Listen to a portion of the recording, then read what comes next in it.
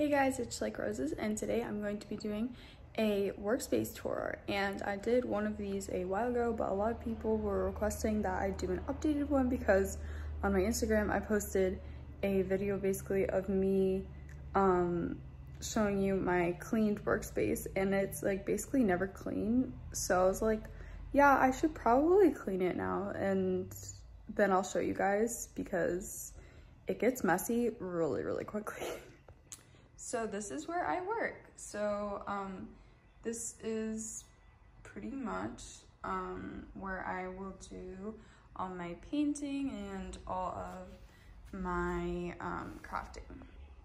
So this is basically located in my living room because I like to be with my family when I'm crafting and like I like to watch our big TV and while I'm doing things and I like to have like everything in the background because I like to just, you know, hang out with my family.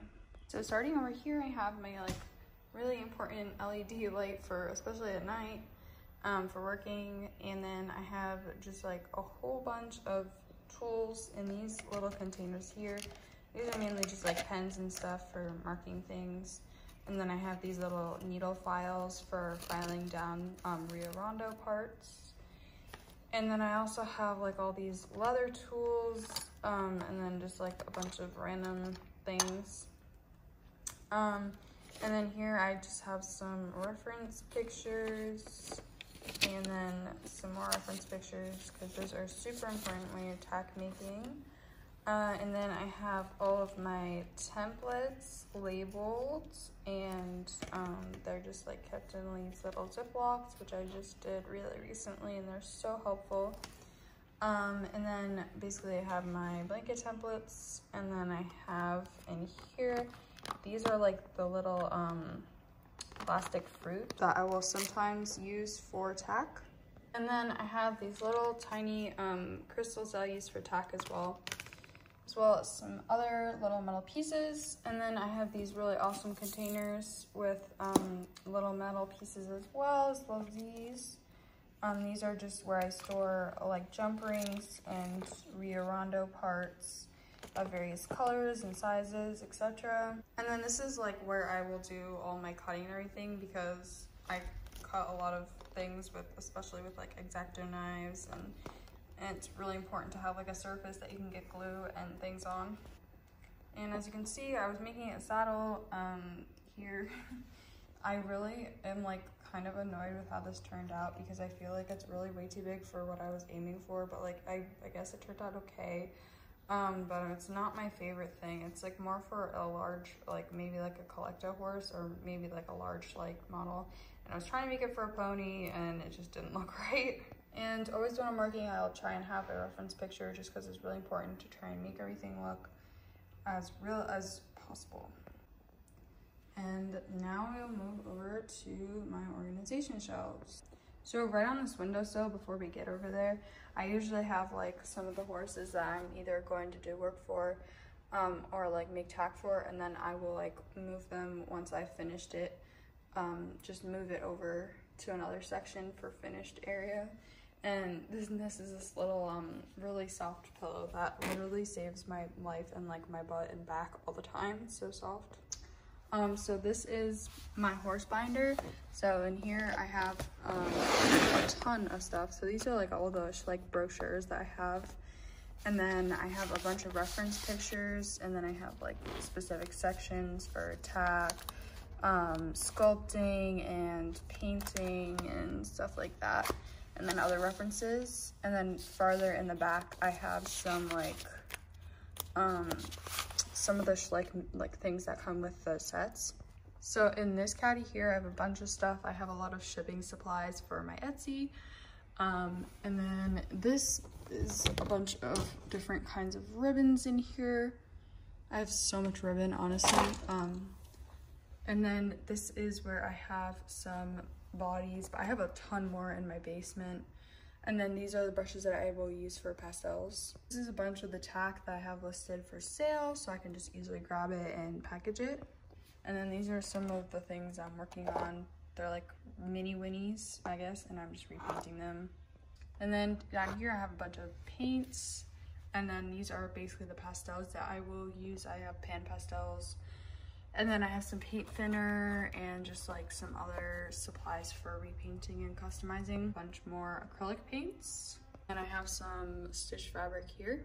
And then I have this really big caddy that I recently um, got. And then I have a bunch of ribbons here as well. So on the top, I have this container of a bunch of old tack that I'm either going to take apart or repair. Um, I have a few Belleville dolls over here, um, some shipping labels, as well as like a postal scale so I can weigh the packages before I send them. And then this first shelf is basically all shipping stuff. So when I ship orders, I love to package them really with like a lot of detail. So I'll use all these really shiny washi tapes and really fun tapes that I got on Amazon. And of course I will use a ton of stickers. And then I have these little stickers that I printed out as well, fragile, handle with care. And I printed them out on sticker paper.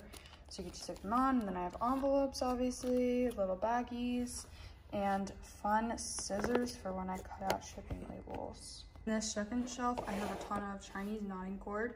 Um, and I use this for like the outlines of blankets and saddle pads and basically just like a bunch of different things. Um, so I have a lot of different thicknesses and colors. And then in this shelf, I have a lot of leathers. And then this is like some elastic um, fabric and string, I'm not really sure. And then um, these, this is really thin leather lace. Uh, and then this is some more black and then brown leather lace and then a bunch of different mixed colors, mixed thicknesses. Um, and then I also have saddle soap, which I don't use too often, but I still have it. And then some really thick um, leather that I got in the beginning, um, some really thick leather lace that I don't really use, but um, then I have a bunch of different leathers and materials uh, from Rio Rondo.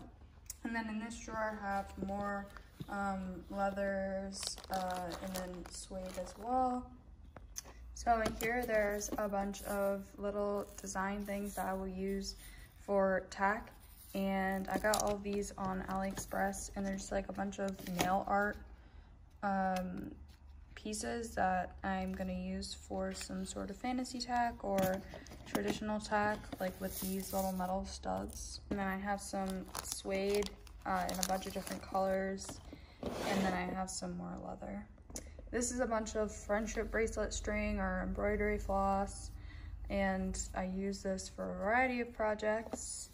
And then I also have um, this thick yarn that I've dyed different colors. And here I have a bunch of paintbrushes. These are the thicker ones that I'll use, and then these are the really detailed ones, or some of them are. And then um, down here I have some tacky wax and another replacement you can get is orthodontist wax, and that's just hold um, bits for, for the bridles in, into place. Then I have some more paintbrushes that I haven't opened yet that are super new and clean under there. And then in this shelf, I just have like a ton of fabric and felt that I use. Then this uh, drawer is also a lot more fabrics and just patterns that I'll use for blankets and saddle pads and so forth. And surprise, there's more fabric. Um, so yeah. And then this last shelf, I just have a bunch of different glues uh, that I don't really use too often, but I have just in case. And then I have a lot of wire, and then I have this uh, cut up soda can pieces that I will use for making saddle trees, as well as some really fun ribbon that I haven't had a chance to use yet um, for some blankets. An empty container, as well as some pastels that I will use occasionally. Um, and then I have a bunch of paints here that I will use in my airbrush, but I have to use um, paint thinner with them, so they're not my favorite, but they dry really smoothly onto the model, so I really like them. They're Va Vallejo, I don't, Valle, Vallejo, I don't know how to say that, but yeah, they're really good paints. I definitely recommend getting them. And here I have some things that I have listed on my Etsy that are for sale or will possibly be for sale that I haven't necessarily decided I'm going to sell yet. And then in this container, I have just like a bunch of bubble wrap that I will use to wrap the horses for shipping. And that is the workspace tour. So those are all of the supplies that I will pretty much use. And this is where I work. thank you guys so much for watching this video. I hope you enjoyed. Um, and I would really love if you guys checked out my Etsy and I have a bunch of different stuff for sale. I'm adding items like all the time. So if you have any like requests or ideas, I do take, I am taking a few custom orders right now. Um, and do keep in mind they have like a small additional charge because they are custom orders, but you should definitely go check them out. Thank you for being so supportive on my Instagram and especially on my YouTube because I know you guys really enjoy barn tours and I'm going to be doing a July barn tour. So look out for that or just rewatch my past ones if you want. Bye. Have an awesome day. Mwah.